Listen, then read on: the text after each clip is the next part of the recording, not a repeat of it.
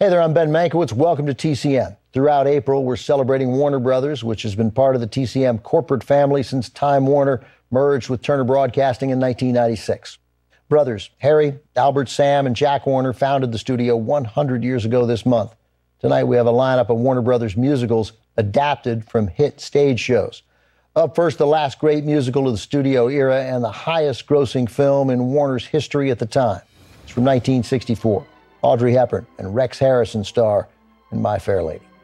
This is the story of a pompous British professor who wagers he can take a poor Cockney girl and turn her into a dignified high society lady. The original stage production premiered in the spring of 1956, promptly becoming one of the most successful shows ever to hit Broadway.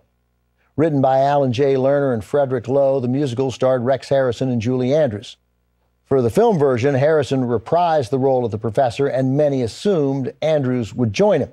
But producer Jack Warner was not a theater producer, he was a movie executive. He produced the film personally, and he wanted a bankable movie star. He paid a staggering sum for the rights, $5.5 million to be precise, and he wasn't about to risk that money on Julie Andrews, who didn't have any movie credits. Not yet, anyway. As for My Fair Lady, Warner wanted Audrey Hepburn, who made the studio a great deal of money five years earlier with The Nun's Story. Warner's plan was to make the film version of My Fair Lady every bit as spectacular and grand as it was on the stage.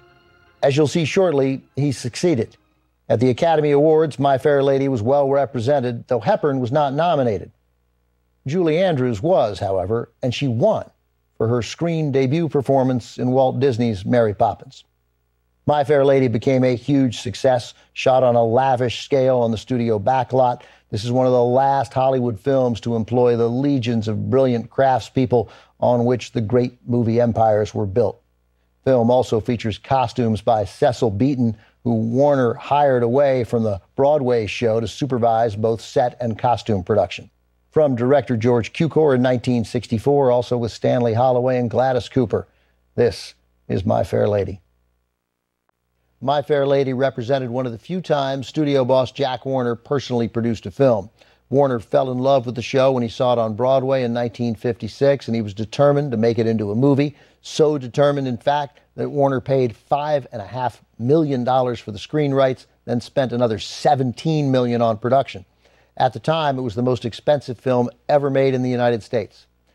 Fortunately for Warner, the investment paid off.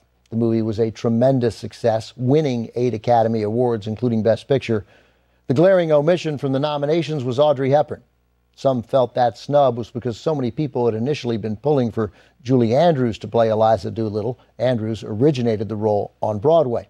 In the end, it didn't work out badly for Julie Andrews. She made her screen debut in a Walt Disney production released in 1964, proving her movie star mettle and winning an Oscar, Best Actress, for that performance in Mary Poppins. The next year, Andrews earned another nomination for The Sound of Music. Coming up, our evening of Warner Brothers musicals continues with One Man, One Woman, and 76 Trombones. The Music Man is next on TCM.